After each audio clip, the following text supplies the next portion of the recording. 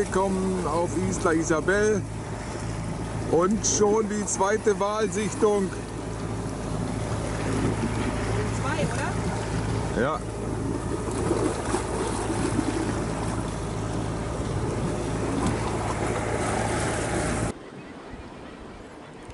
Da schlägt wieder ein Wal mit seiner Flunke.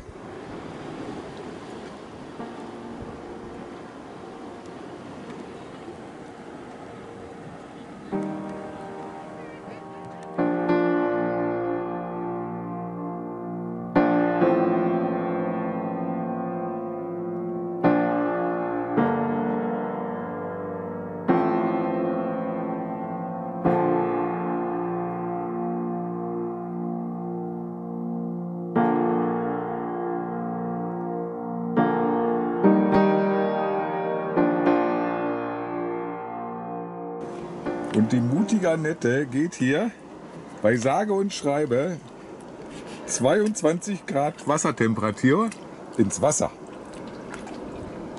Wer sagt denn, dass noch 22 Klappe Grad die erste, also eine Anzeige sind 24, die stimmt immer 2 Grad nicht. Also dann Klappe, hatten wir ja nur 17 Grad auf der Überfahrt. ja, Klappe die erste, Sprung, Test.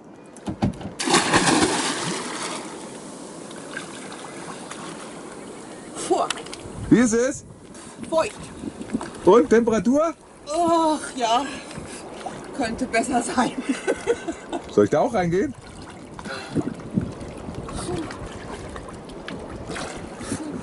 Mach mal. Es ist jetzt Brutzeit auf Isla Isabel. Wir sitzen hier am Wegesrand und brüten die Reihe aus. So eine riesen Vögel haben so ein kleines Nest.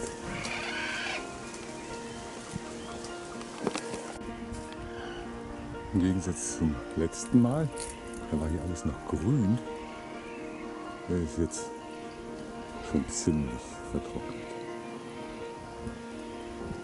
Die haben ganz schön spitzen Schnabel, diese Fregattvögel.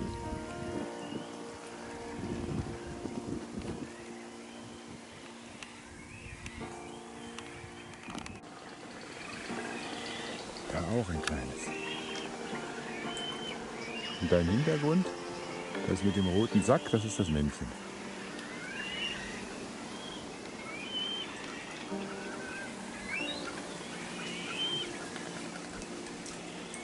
Hat wohl Hunger.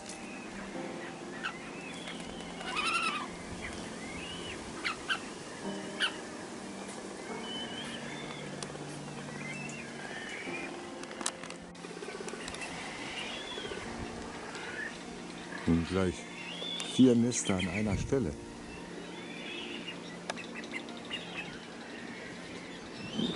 Das ist schon irre hier. Wir haben keine Angst. So ist das, wenn man die Natur in Ruhe lässt. Das haben hier alles voll.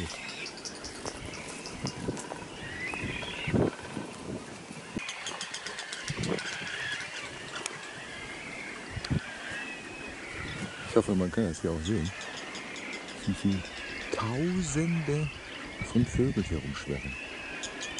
Tausende.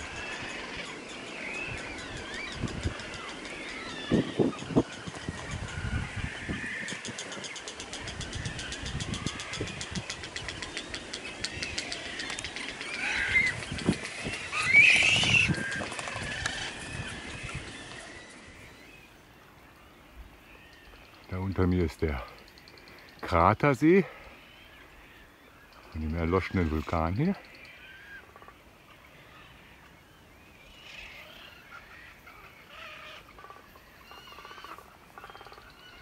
Was man da im Hintergrund hört, sind die Fregattmännchen, die noch um Weibchen buhlen.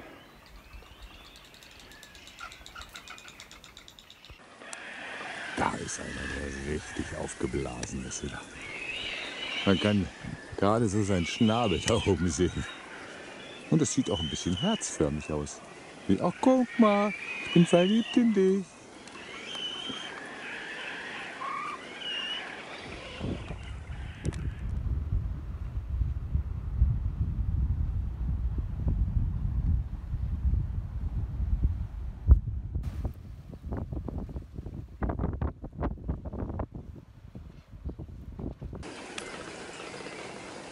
Direkt hier am Weg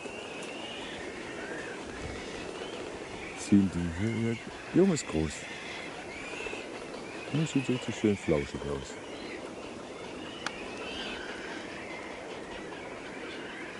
Toll. Also es ist super, dass es Naturschutzgebiete gibt. Liebe Politiker, es muss aber noch viel mehr geben auf dieser Welt. Und was das Schiff da draußen macht, ich glaube, das möchte ich gar nicht wissen. Der sieht ja so aus, als ob er gleich runtergeht. Aber scheint ein Fischer zu sein. Stehen in der Luft.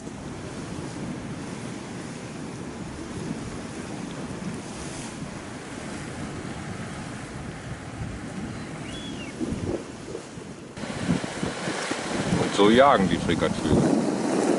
Die können nämlich nicht schwimmen.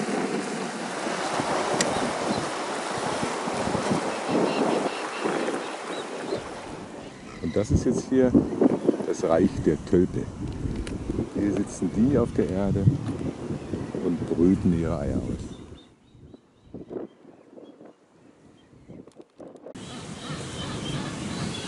Ja, hat aber schöne blaue Füße. Der putzt sich schön.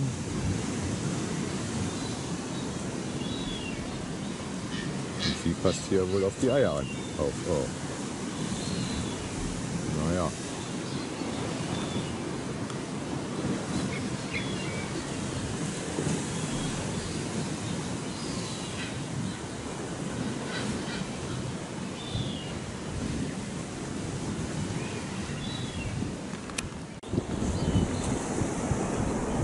Alles voll, hier wimmelt nur so von Nestern. Muss ich einen weiten Bogen drumherum gehen.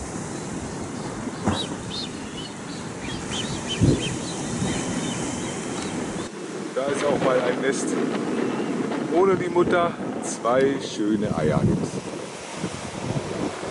Herrlich. Ich tu dir doch nichts. Aber du bist hier mitten auf dem Weg. Ich gehe ganz langsam vorbei.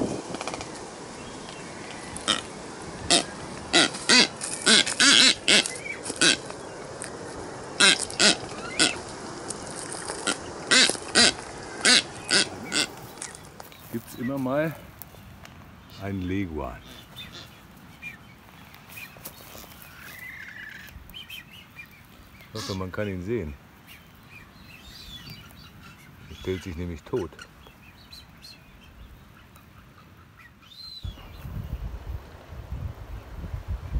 Dann bin ich fast einmal rum. Jetzt bin ich hier an der Steilküste. Das ist hier die Bucht.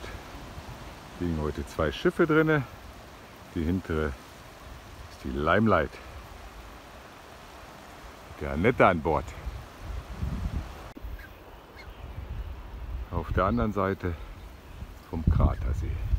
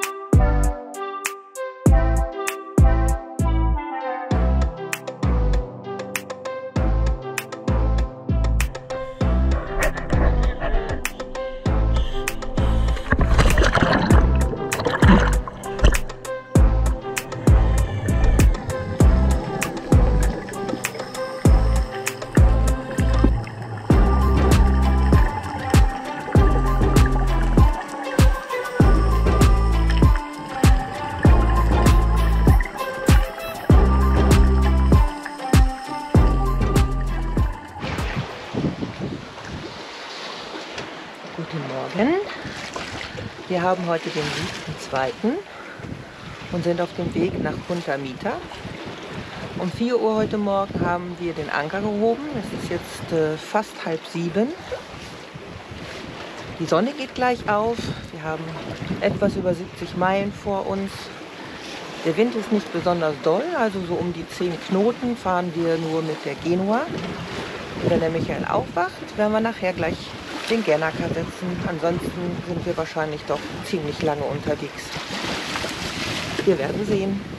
Vielleicht wird es ja auch noch ein bisschen mehr Wind. Seit langem mal wieder Gernaker segeln. Haben 8 Knoten Wind. Und fahren viereinhalb Knoten Richtung Bahia Banderas.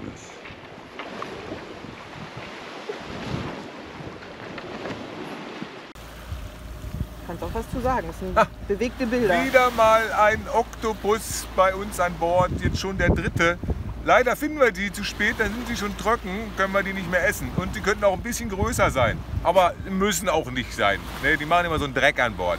Also tschüss!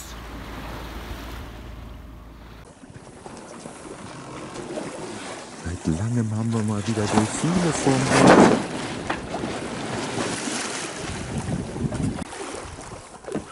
Und gleich so viele wieder.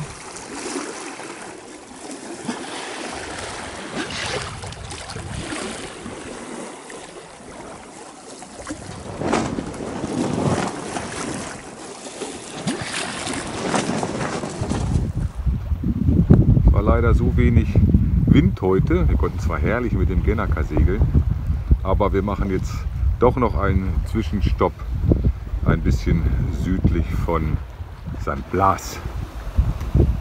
Die Wellen sind heute nicht so hoch. Hoffen wir, dass wir eine ruhige Nacht haben.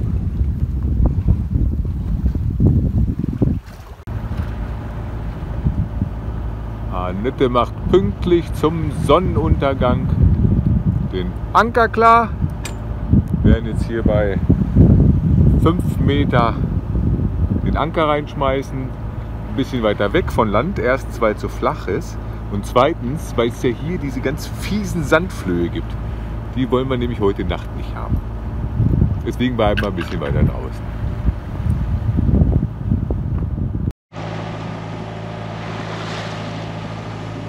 Heute Morgen am 8.